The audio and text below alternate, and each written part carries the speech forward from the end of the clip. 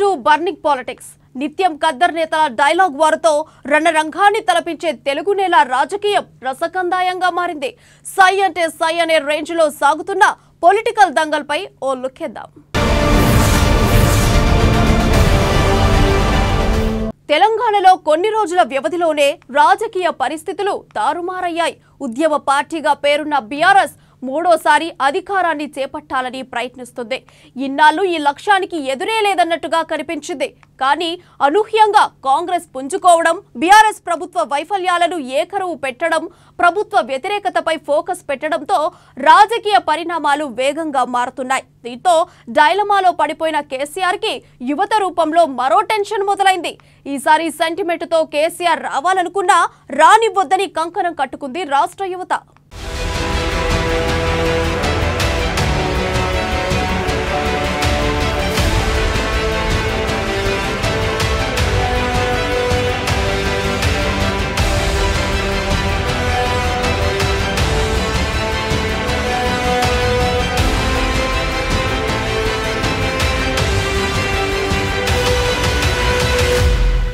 తెలంగాణ సర్కార్పై కుర్రుగా ఉన్న యువత. యువత ఆగ్రహంతో అలర్ట్ అయిన కేసీఆర్.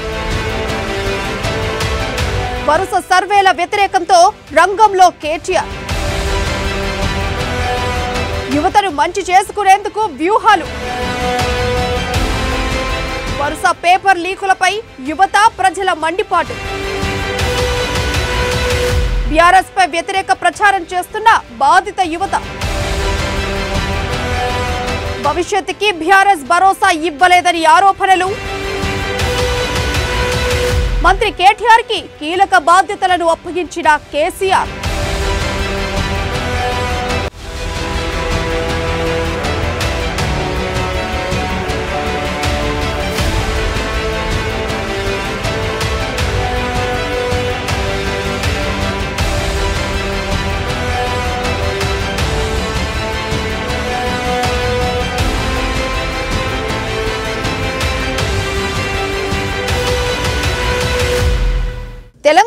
కొన్ని రోజుల వ్యవధిలోనే రాజకీయ పరిస్థితులు తారుమారయ్యాయి. ముఖ్యంగా ప్రతిపక్ష పార్టీల తీరులో ఈ మార్పు అధికంగా కనిపించింది. వచ్చిన మార్పు అధికార పార్టీని కలవరపెట్టే స్థాయిలో ఉండటం గమనార్హం. ఈ నేపథ్యంలోనే వచ్చే అసెంబ్లీ ఎన్నికల్లో పార్టీల వ్యూహం దూకుడు ఏ విధంగా ఉండనున్నాయనేది ఆసక్తికరంగా మారింది. అయితే కారు పార్టీపై తెలంగాణలోని యూత్ ఓటర్లు ఎక్కువగా మండిపోతున్నారట. ప్రతి నెలా కేసీఆర్ చేయించుకుంటున్న సర్వేల్లో ఈ విషయం బయటపడిందట. అందుకనే యూత్కు దగ్గరై వాళ్ళలోని ఆగ్రహాన్ని తగ్గించే బాధ్యతలను కొడుకు కేటీఆర్కు కేసీఆర్ అప్పగించినట్లు పార్టీ వర్గాలు చెబుతున్నాయి. పద్దెనిమిది నుండి ముప్పై ఐదేళ్ళ మధ్య ఉన్న వాళ్ళంతా ప్రభుత్వంపై అనేక కారణాలతో ఆగ్రహంగా ఉన్నట్లు సమాచారం.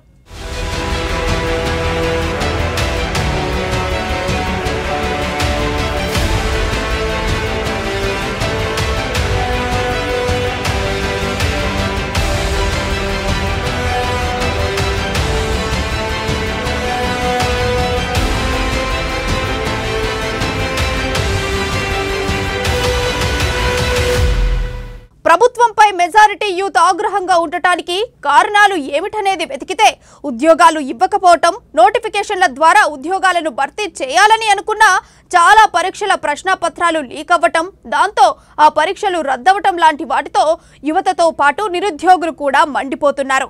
గ్రూప్ వన్ పోస్టులకు సుమారు ఐదు లక్షల మంది నిరుద్యోగులు దరఖాస్తులు చేసుకున్నారు. ఈ కేటగిరీలోని వివిధ పోస్టుల ప్రశ్నపత్రాలు లీక్ అయ్యాయి.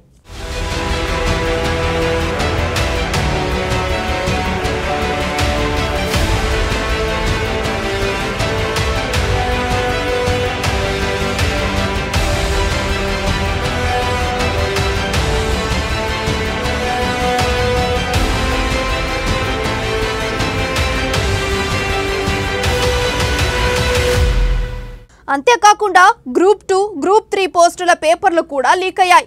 దీంతో కొన్ని పరీక్షలను ప్రభుత్వం రద్దు చేస్తే మరికొన్ని జరిగిపోతున్నాయి. నిజానికి ప్రభుత్వంలోకి వచ్చిన తొమ్మిదేళ్ళలో రెగ్యులర్గా ఉద్యోగాలకు నోటిఫికేషన్లు ఇవ్వాల్సిన కేసీఆర్ ప్రభుత్వం అసలు ఉద్యోగాల భర్తీని పట్టించుకోనే లేదు. రాబోయే ఎన్నికల్లో గెలుపు కష్టమనే ప్రచారం కారణంగా మాత్రమే హడావుడిగా ఉద్యోగాల భర్తీకి నోటిఫికేషన్లు ఇస్తోంది. ఏదేమైనా పరీక్షల నిర్వహణలో ప్రభుత్వం ఘోరంగా ఫెయిల్ అయిందనే అపవాదనను మూటకట్టుకుంది.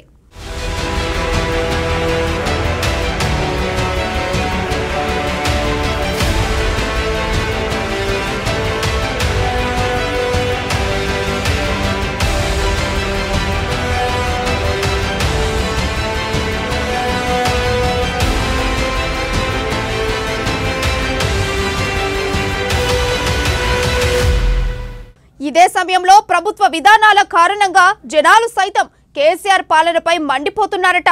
ఇదంతా చూస్తున్న యూత్ కారు పార్టీపై బాగా ఆగ్రహంగా ఉన్నారు. వారి ఆగ్రహాన్ని చల్లార్చకపోతే రాబోయే ఎన్నికల్లో గెలుపు కష్టమైపోతోందో అనే టెన్షన్ కేసీఆర్లో పెరిగిపోతోందట. నిరుద్యోగులు యూత్ కొన్ని లక్షల మంది ఓటర్ల రూపంలో ఉన్నారు. వాళ్ళు వ్యతిరేకం అవటమే కాకుండా వాళ్ళ తల్లిదండ్రులతో పాటు తమ ఊర్లలో తెలిసిన వాళ్ళందరినీ కూడా పార్టీకి వ్యతిరేకంగా ఓట్లయించే ప్రమాదం ఉందని కేసీఆర్ గ్రహించారు. అందుకనే వాళ్ళని మంచి చేసుకునేందుకు ప్రయత్నాలు మొదలుపెట్టారు. కేసీఆర్ వేస్తున్న ప్లాన్ ఎంతవరకు వర్కౌట్ అవుతుందో లేదో చూడాలి మరి.